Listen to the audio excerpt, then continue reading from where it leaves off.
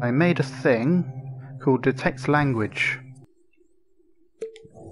Uh, so if I play time, it says EN because that's the language I'm using.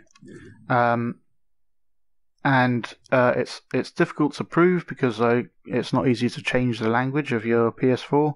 So I'll just uh, if you have a different language uh, PS4, feel free to uh, test it out. Um, okay, so how does this work? Well, uh, so I'll just quickly demonstrate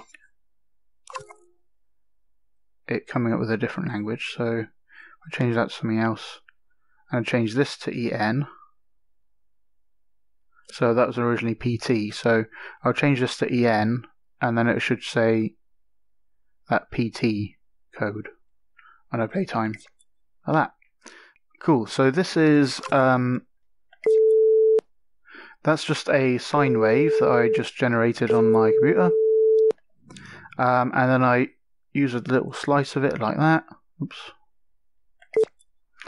Um, and the cool thing with with uh, the audio stuff is that you can tell it which language it is. So first you need to set in the settings the that is it is multi-language, um, and then you can you get this thing. So if multi-language isn't on, you won't see that. You'll see the spiciness rating. So turn that on, and now you can set it by just dragging up and down through the things. And dash means it it always works, maybe something like that. But now uh, that one will play um, if the uh, PS4 is in uh, Japanese language, and that one will play if it's in English language. Uh, I can use up and down on this to actually make them louder and quieter. If I just make that more obvious, I'll make this one really loud, this one really quiet. So the English one is now really quiet, but then if I change these round, it will play this one instead and be louder, like that. So then we're using that feature to uh, figure out which one of these slices played. So um, if I put this on a chip first. Cool, so now if I uh, output that using a number displayer, um, uh, and it has this envelope input output from the uh, sound.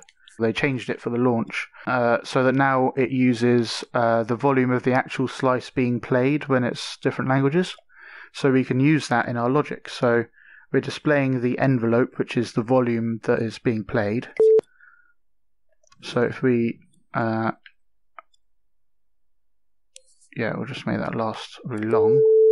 So it's around 1.2, whereas this other one, make that one longer as well. Uh, if we make that one English, change that one, then it'll be quieter and have a lower number, 2.5 or 0.25. So the easiest way of using this is to have two of them and only one of them will actually have any volume. So um, uh, if I just show you how to do one language, so let's just use the English one and scale that up.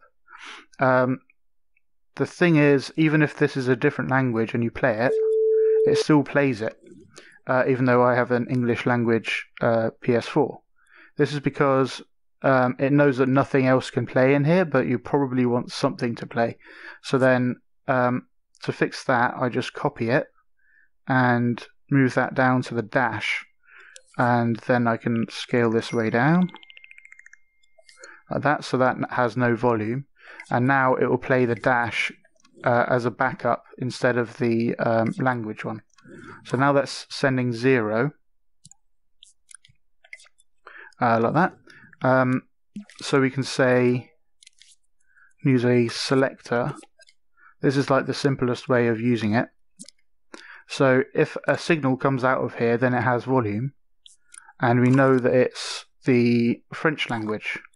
So then we can add um, a example for French. So um, that selector, a selector has many channels, and when you send a signal into one of them, that becomes the active channel, and only that one will send a signal out. So if that sends a signal because it's French, the PS4 is French, then that'll that'll set it to B, and then that will become active. So what we can do is use a calculator to make sure it's just less than a small number. Oh, we want it more than. Yeah, that's better. So more than a tiny number. So it's not happening because the uh, that dash one is very quiet. Now we can make a copy of that and put this one into C and have this one be for the English like that. And then in here, just change that to English. Now when we play, it selected that second one, which is uh, so then you can use that to um, show different text, translated text for different language people, and things like that. Um, uh, now you probably don't want that tone to be playing though, so to fix that we can just add a sound gadget, which is a speaker, and if you put a speaker in the chip of other audio stuff, by default it will just um, nab all that audio and and play it through this speaker. Uh, so we'll turn that off, and we can just turn the volume down. So this still has volume and, and is still sending out stuff, but then the speaker mutes it for the actual player's speakers. So now we can get the uh, information about that one's being played um, without having to play it over the speakers if none of these fire, so if let's say you only have French and we'll just go for Ita- uh, uh, Italian, not Italian, Italian. Um, so if neither of those play, then that'll still be on by default. So you can use that to power whatever. Uh, but you can also say um, if it's Italian or it's uh, Spanish, then that one will play. And then you can do stuff for just those. So uh, that's probably not a great example, but if you had English and um, English US, uh, that would make sense, for example. So um, if you had this, let's let's find some French text. Um, new. Something like that. Uh, so you can have that and then you know that one say welcome. So that just says welcome every time. If they're French, they would see a translated version of the same text.